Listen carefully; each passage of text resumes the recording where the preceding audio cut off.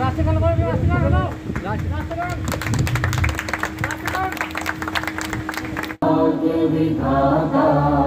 पंजाब सिंध गुजरात मराठा द्राविड उत्कल गंगा विंध्य हिमाचल यमुना गंगा उच्चल जलधि तरंगा तव शुभ जागे तव शुभ आशीष मांगे गाहे तव जय गाथा।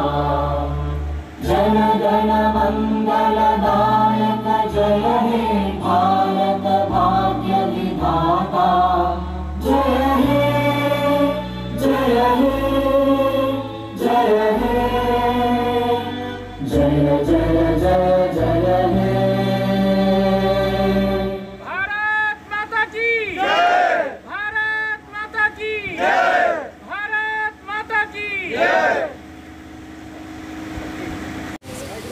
मैं ज्योति सक्सेना न्यूज़ 24 सेवन से बने हुए हैं। आज स्वतंत्रता दिवस पे चौहत्तरवें स्वतंत्रता दिवस पे। है कुछ राजनेता हैं जिन जो इस मुद्दे पर आकर बोले हैं वो हमारा साथ दे रहे हैं। मैं उनसे मिलाना चाहूँ सर सबसे पहले मैं आपसे बात करना चाहूँगी। आप न्यूज़ ऑफ़ 24 सेवन को अपना इंट्रोडक्शन दें। देखिए सबसे पहले तो मैं आपका धन्यवाद करता हूँ। धन्यवाद सर। जो हमारे बर्नी साहब ने इनकी पूरी टीम ने बिल्कुल बहुत जो आज यहाँ प्रोग्राम किया है मैं तही दिल से इनका शुक्रिया अदा करता हूँ। और इतना शानदार के इन्होंने जो आपस में लोग ना इतफाक़ी थे एक दूसरे से इतफाक़ नहीं रखते थे उन सबको एक मंच पर लाने का काम आज ऐसे दिन स्वतंत्रता दिवस के दिन उन सबको एक मंच पर लाने का इन्होंने काम किया। ये बधाई के पात्र हैं और काफ़ी सालों से ये आज के दिन को खुशी की तरह मनाते रहे हैं और आगे भी करते रहेंगे। और हम आपका और इनकी सारी टीम का तय दिल से शुक्रिया अदा करते अगले जो हमारे साथ एक महानायक हैं जैसे कि बिग बॉस 12 इन्होंने सीज़न किया था बहुत धमाल मचाया था। मैंने भी उसे खूब देखा था। बाबा जी को भी वहीं देखा था मैंने लेकिन आज मैं इनके साथ जुड़ी हूँ। बाबा जी क्या कहना चाहेंगे आज? देखिए सीधी सीधी बात है कि जैसे कहा जाता है हमारे यहाँ कि मज़हब नहीं सिखाता आपस में बैर रखना। हम लोगों को देखिए अभी जो जिस तरह से बेंगलुरु में दिल्ली मुजफ्फरनगर में पहले दंगा हुआ था ये दंगा बंद होना चाहिए और आपस में ब्रदरहुड के माध्यम से एक दूसरे को अ, मदद करनी चाहिए। गीता में लिखा है ये न भावयतान ते देवा भावयंत वह परस्परम भावयंत श्रेय परम वापसथ एक दूसरे के सहयोगी बन करके इस देश को सुपर पावर बनाएँ।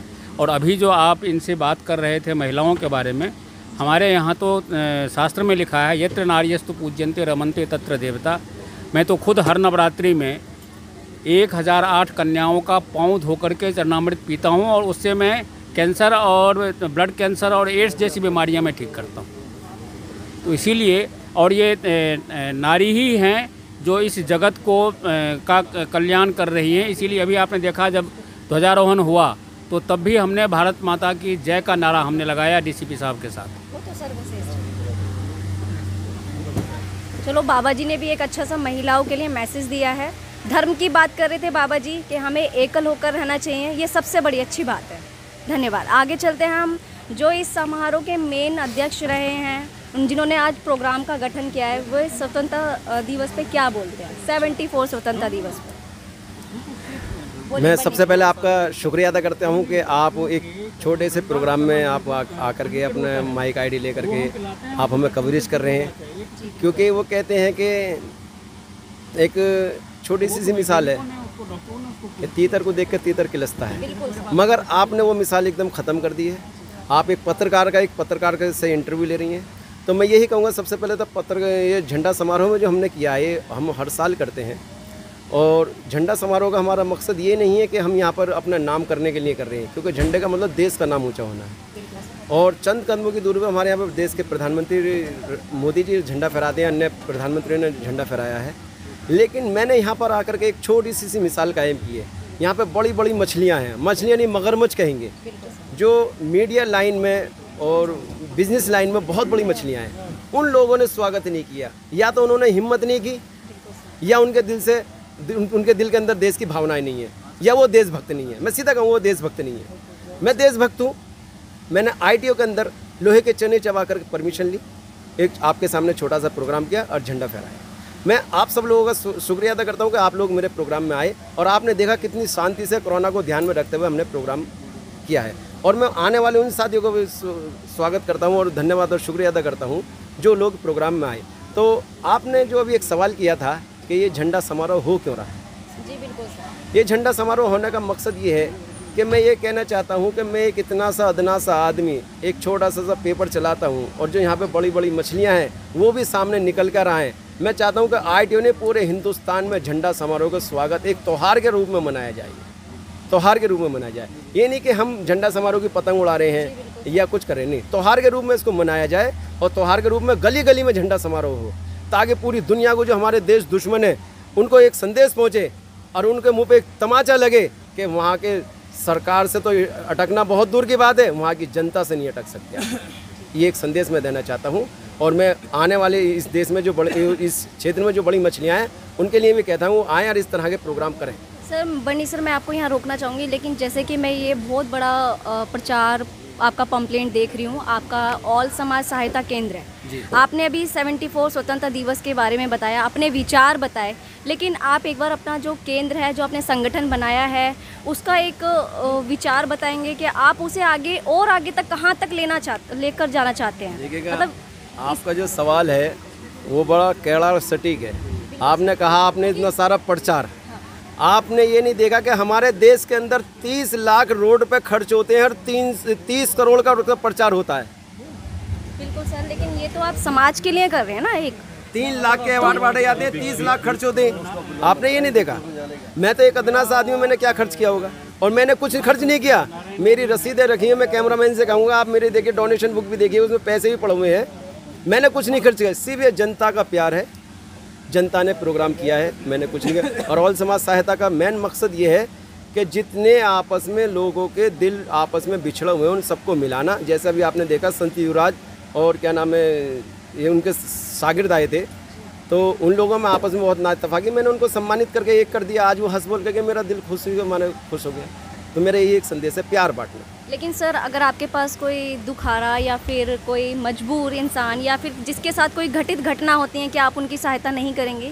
बीस साल से कर रही है। बिल्कुल कहने का मीन्स मेरा यही था कि और आप हमने लॉकडाउन के अंदर भी मैं बता दूँ लॉकडाउन के अंदर भी उन लोगों को मदद पहुंचाई है जिन जो अमीर थे कोठी वाले थे गाड़ी वाले थे बंगले वाले थे। लेकिन लॉकडाउन की वजह से वो बाहर नहीं निकल पा रहे थे वो हर तरीके से परेशान थे वो समा कुछ ला नहीं पा रहे थे। उनको हमने उनका गेट बजा करके चुपचाप जा करके उनको उनके घर पर राशन पहुँचाया है। वो रोए हैं हमारे आगे। क्यों? गरीबों को तो सबने बांटा। कोई अमीर को भी बांट के देखे। वो ऑल समाज सहायता केंद्र ने किया है। नारा लगा। हिंदुस्तान! हिंदुस्तान! और मैं उम्मीद साहब से पहलवान उम्मीद साहब से भी एक रिक्वेस्ट करूँगा क्योंकि ऑल समाज सहायता केंद्र की तरफ़ से अपने हाथों से फुरकान सलमानी साहब का स्वागत करें, क्योंकि इन्होंने कोरोना के अंदर बहुत काम किया है। और मैं एक ये भी घोषणा करना चाहता हूँ कि ऑल समाज सहायता केंद्र की ज़िम्मेदारी फुरकान सलमानी साहब को पश्चिमी उत्तर प्रदेश की दी जाती है। और मैं उम्मीद करता हूँ कि फुरकान सलमानी साहब ऑल समाज सहायता केंद्र के अंदर पूरे खरे तन मन धन से पूरा सहयोग करेंगे, लोगों को जोड़ेंगे, देश के अंदर संदेश अच्छा पहुँचाएँगे और देश की तरक्की के उन्नति के लिए काम करेंगे। जी।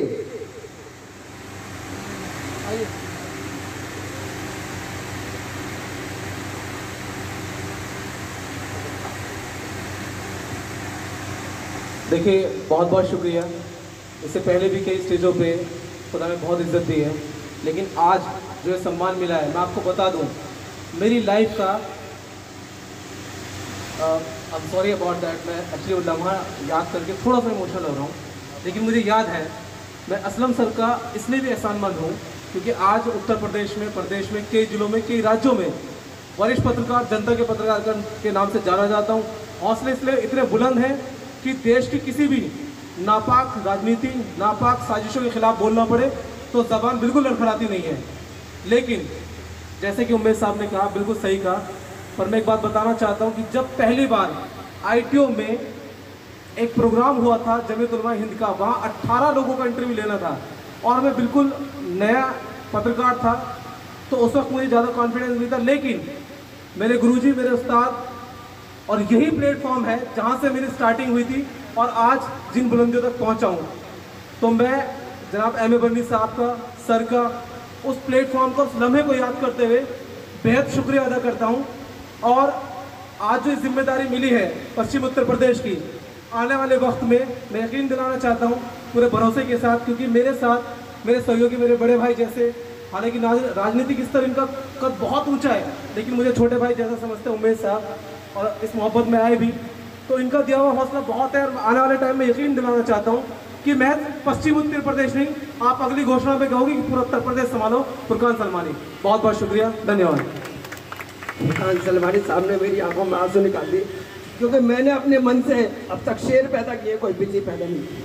और मैं यही कहूँगा कि मैं जो अमोल समाज सहायता केंद्र हो या अमन न्यूज़ हो, मेरे मन से शेर पैदा होकर के निकलते हैं। और मैंने पहला ऐसा शख्स हूँ कि मंत्री के सामने पहली बार में ही मैंने इनको माइक हाथ में दे दिया था। और इन्होंने कहा, मैं तो पहला इंसान हूँ, मैं पहली बार इंटरव्यू कैसे मैंने कहा, मैं पीछे बैठा हूँ, आप इंटरव्यू लीजिए।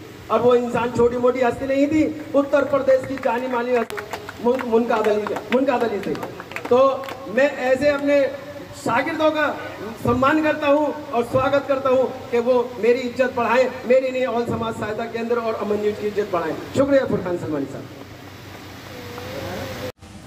तो कहने का मीन्स ये है बन्नी जी ने ये बताया है ऑल समाज संगठन जो कि गरीबों के हित में है महिलाओं के हित में है लाचारों के हित में है सभी के लिए है नहीं इवन आ, हर व्यक्ति के लिए हैं वो।